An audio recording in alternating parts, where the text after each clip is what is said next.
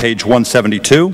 The U.S. government has not been able to determine the origin of the money used for the 9 11 attacks. Ultimately, the question is of little practical significance.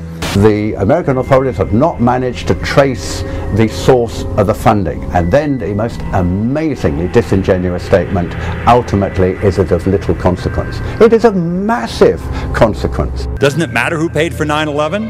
The collapse of Building 7 has been recognized as especially difficult to explain. The 9 11 Commission report implicitly admitted that it could not explain the collapse of this building by not even mentioning it.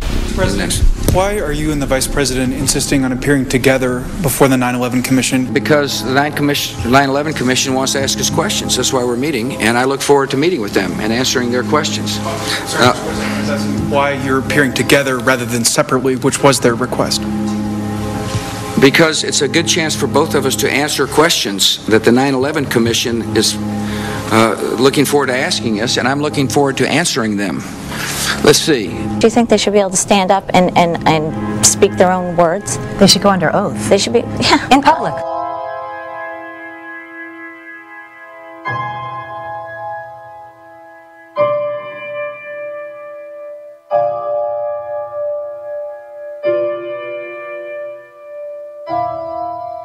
Don't you think that the families deserve to have a transcript or to be able to see what Adam, you you asked me that question yesterday. For an I got the today. same answer, yeah. The final report was a unanimous report. That means that if there was a single commissioner who had any objection about anything, that fact would be dropped from the report. We have found out that he not only served on the transition team of the Bush administration, that he was a person who wrote a draft memo for the setup of the Bush administration's National Security Council, that he was an individual who wrote the preemptive war strategy that was eventually used for the war in Iraq, that he is a close friend of Condoleezza Rice's. We want him to resign. There is literally nothing in the 9 11 report that the Bush administration did not approve of. We can understand, therefore, why the Commission, under Zelikow's leadership, would have ignored all the evidence that would point to the truth that 9 11 was a false flag operation intended to authorize the doctrines and funds needed for a new level of imperial mobilization.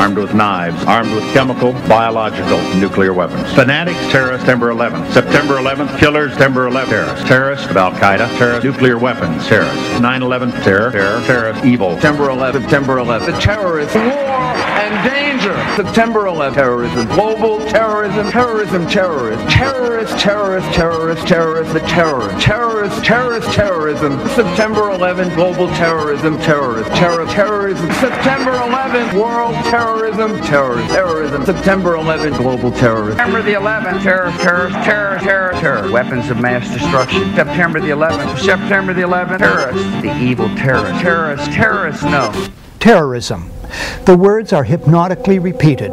Terrorism, terrorist, terrorist threat, and of course, believed to be linked to Al Qaeda. But it's the so called war on terrorism that's in our faces practically 24 7 as the inescapable focus of our existence. One day, our grandchildren will look back on this time and ask, how was the war on terror won? The entire U.S. ruling class, ruling elite, comes to see terrorism as the preferred means, indeed the only means, to provide social cohesion, to provide an enemy image for the society to keep it together. According to neocon theory from Carl Schmitt, you have to have an enemy image in order to have a society. A very dangerous thing because now it means that the entire social order, the political parties, intellectual life, politics in general, all based on a monstrous myth, monstrous myth.